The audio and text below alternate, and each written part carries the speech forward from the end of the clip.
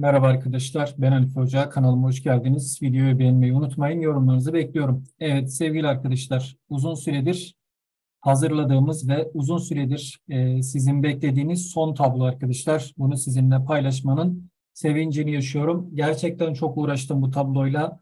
İnanılmaz arkadaşlar. Yani e, sadece aynı sonuçları iki defa, üç defa giren 500 tane öğrencinin sonucu var arkadaşlar. Yani onu söyleyeyim.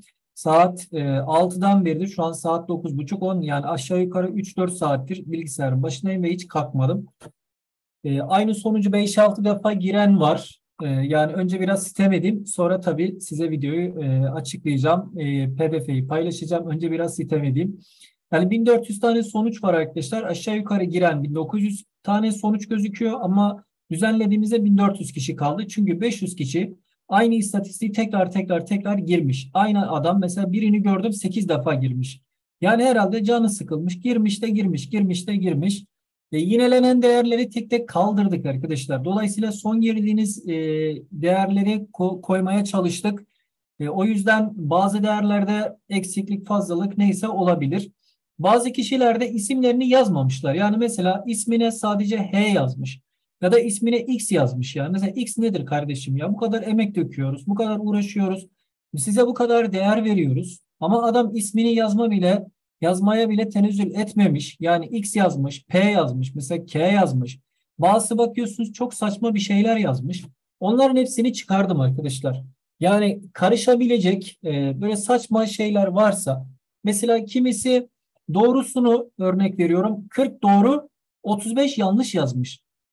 Matematikte 40 tane işaretleyip 35 tanesini nasıl yanlış yaparsın? Mesela bu tür değer olanları da çıkardık arkadaşlar. Yani do işaretlediğine 40 yazmış e, ama yanlışına 35 tane yapmış mesela. Böyle saçma değerler vardı. Bunları da çıkardık. Yani 500 tane değeri eledik arkadaşlar. Yani bilginiz olsun. Dolayısıyla size en doğru bilgileri ulaştırmaya çalıştık. Bu sitem. Son bir sistemim daha var. E, eşit ağırlık ve sözelci arkadaşlara biraz sistem edeceğim. Çok fazla veri girmemişler. Burada sayısalcı arkadaşlara gerçekten teşekkür ediyorum. Göreceksiniz bu veride sayısalcılar tam 913 tane veri girmişler. Eşit ağırlıkçılar 300 civarı, sözelciler 200 civarı. Yani çok az arkadaşlar ama sayısalcılar bu anlamda gerçekten onlara teşekkür etmek istiyorum. Şimdi analizlere bakalım. Geçen sene son iki yıl ben bu analizi geçen sene de yaptığım için son iki yılın karşılaştırmasını yapacağım. Allah nasip eder gelecek sene yaparsak son üç yılın karşılaştırması şeklinde analizler yapmayı düşünüyoruz arkadaşlar. Biliyorsunuz bu tür analizleri, istatistikleri gerçekten yapan tek kişi benim. Ya bundan dolayı gerçekten emeğe saygı arkadaşlar. Yani beğenin, paylaşın, neyse yorum atın, like atın vesaire neyse artık siz biliyorsunuz. Şimdi e, bizim burada istatistiğimize katılan sayısalcılarda geçen sene 579 kişi varken bu sene 911 kişi var arkadaşlar. Bakın sayısalcılar bu sene gerçekten buna değer vermişler. Gerçekten çok katılım var. Burada matematik netini geçen sene yani 579 kişiden 45 kişi 45 kişi 45 neti geçmiş arkadaşlar. Bakın bu sene sayı 911 olmasına rağmen 45 neti geçen sadece 19 kişi var. Karşılaştırmayı görüyorsunuz değil mi? Anlatmaya gerek yok. Geçen sene bizim yaptığımız istatistikte 40 neti geçen 155 kişi varken 579 kişi arasında bu sene sadece 91 kişi var. Dolayısıyla bu senenin sayısalı geçen seneden gerçekten zor arkadaşlar. Yani bu bunu çok net görebilirsiniz. İstatistikler bunu kesinlikle gösteriyor. Sözelcilerden geçen sene 206 kişi bu sene 188 kişi katılmış. Geçen sene sözelcilerden 45 neti geçen 12 kişi bu sene sadece 9 kişi. Aşağı yukarı birbirine benziyor. Geçen sene 40 neti geçen 70 kişi bu sene 40 neti geçen 57 kişi. Yani sözel geçen seneye nazaran birazcık daha zor ama sayısal gibi değil arkadaşlar onu söyleyeyim.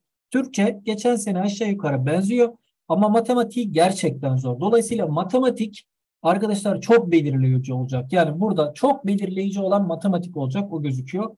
Eşit ağırlıkta geçen sene 390 93 kişi veri girmiş. Bu sene 326. Geçen sene 24 kişi 85 neti geçmiş. Bu sene sadece 5 kişi geçmiş. Geçen sene 80 net geç 80 neti geçen 65 kişi bu sene sadece 20 kişi arkadaşlar. 75 neti geçen geçen sene 145 kişi varken bizim istatistiğimize göre bu sene sadece 38 kişi. Arkadaşlar görüyor musunuz ne kadar zor olduğu sınavın buradan çok net belli. Şimdi buraya puan da ekledim.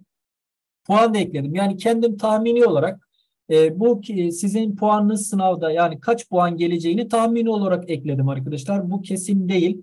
Sıralamaları bilmediğim için ÖSYM'nin sıralamalarının nasıl e, hesaplandığını bilmediğim için sıralama koymadım. Eğer onu bilseydim yani aşağı yukarı kaç sıralama gelir onu da yazabilirdim ama onu bilmediğim için buraya koymadım. Puanların tahmini puan hesaplamasını bildiğimden dolayı burada kendim puan koydum.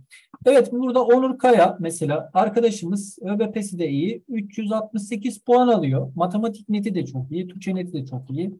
Yani bu e, eşit ağırlıkçıların önceki sayısalcılar mesela bunlar. Bilgisayar mühendisi istiyor. Alihan var burada.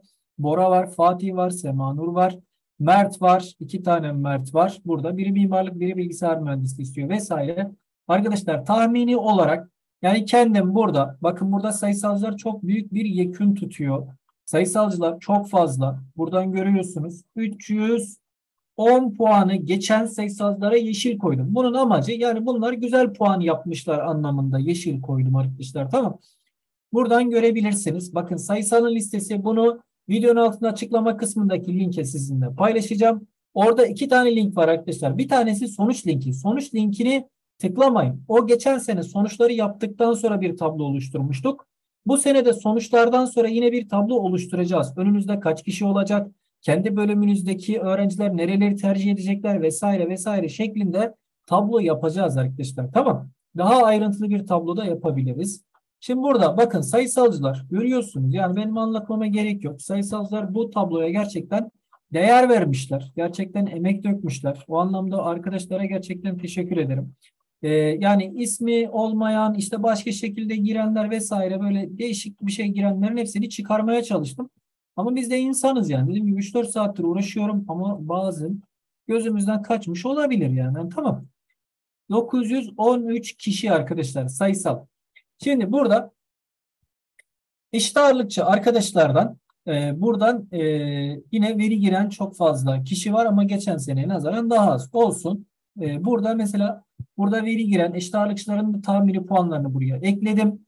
Berces de var burada 90 neti var tahmini olarak arkadaşımızın 358 puanı var.